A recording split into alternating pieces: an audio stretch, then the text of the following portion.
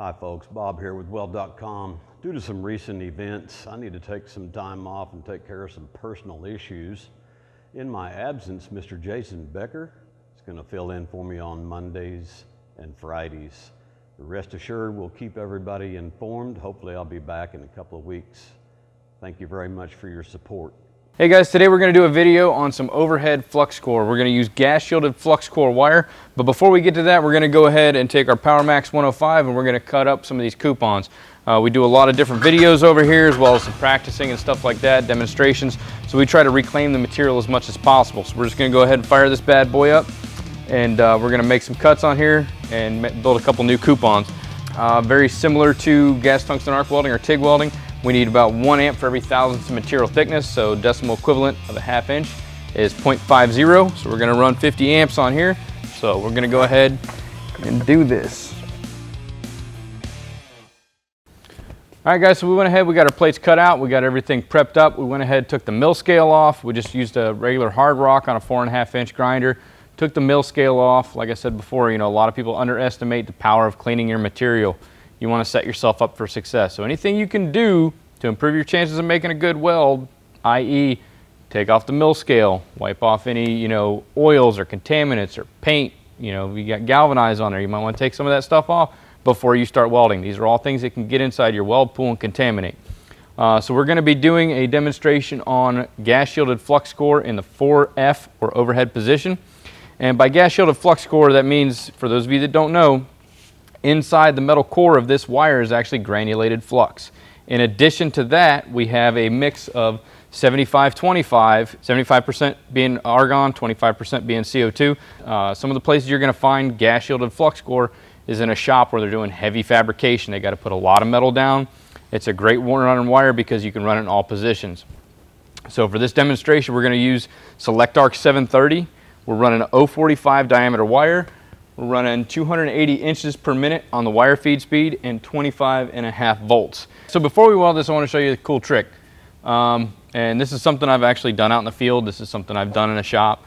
Uh, the, the biggest rule of welding is always be comfortable. Okay, so can I weld this 4F piece just standing here by my, you know, yes. So one of the things I want to help, you know, the younger people understand is you always want to be comfortable when you're welding. So one of the things you can do is just take a small clamp and put it below the piece that you're going to work on. Basically, I'm just going to put my pinky right through here and I'll be able to hold my gun and maintain a proper contact tip to work distance, recommended three quarter inch to one inch with this specific wire. And that's just gonna help stabilize me, right? I can sit here and do it one-handed and everything, but we're trying to show and educate people, give them little tips and tricks on how to do things different and you know to maintain consistency. Because when you're learning when you start out welding the, the biggest problem is is the lack of consistency or the inconsistency that most people have. So this is going to help stabilize you a little bit more so you can focus on contact tip to work distance your travel speed your work angle. A lot of people don't realize that as they're welding they have a tendency to get too close and shorten up that contact tip to work distance or pull too far back and that's just going to have a big effect on your amperage also, a lot of people tend to have a natural sway and they don't understand, uh, they don't recognize that when they're welding that they're actually swaying. So this is just gonna help stabilize you a little bit. I prefer to tell everybody, make sure you have three points of contact. So two feet on the ground, one, port, one, one hand supporting up against the material, and then you should be good to go. Anything else you can put up against there, prop up an elbow or a hip or anything, that's just gonna stabilize you a little bit more. All right, so basically when, when we're running this, I try to maintain about a five to 10 degree travel angle. So as I'm going through, I'm going to drag the electrode.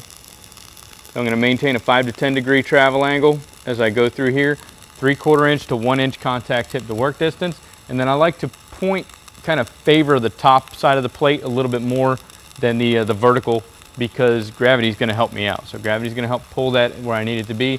And if I need to, I can oscillate a little bit. So you'll notice I'm not doing a whole lot of movement. I'm not manipulating that puddle a lot because it really doesn't need it. It's gonna lay in there nice and flat and relatively smooth. So you don't have to do cursive ease, you don't have to do whip and pauses, which I highly do not recommend, especially with a flux core application, you don't need to do that. So as you're going through here, nice slow steady pull, just watch the puddle. Make sure that the, the edges of your, your weld puddle are tying in where you want them to be. If not, it's okay to you know, move or manipulate just a little bit because the edges of your toes, once they solidify, or the edges of your puddle, once they solidify, that's going to be the edge of your toes. Uh, so you just want to make sure that those are going exactly where you want them for the weld size that you're anticipating. But other than that, um, it turned out relatively nice. Hope you guys learned something. I really enjoyed teaching it to you. Make sure you guys stay tuned for the newest edition of HelpMeWeld.com.